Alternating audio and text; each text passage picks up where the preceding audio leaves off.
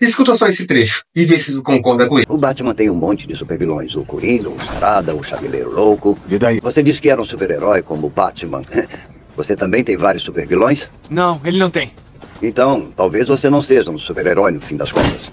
Sabe por que eu não tenho um monte de supervilões? Por quê? Porque todos eles estão mortos e enterrados. Viu só? O Batman não mata ninguém. Porque ele é um otário. Ele é o ser obscuro da noite. Ele é um babaca que luta com assassinos vestidos de palhaço e joga eles na prisão para poderem escapar de lá e matarem mais gente. Me diz uma coisa, quantas pessoas você acha que o Batman matou indiretamente por ser um otário que não mata esses desgraçados que deviam sumir da face da terra, seu velho carcomido demente com cara de coruja? Nossa, eu só tava tentando falar numa boa.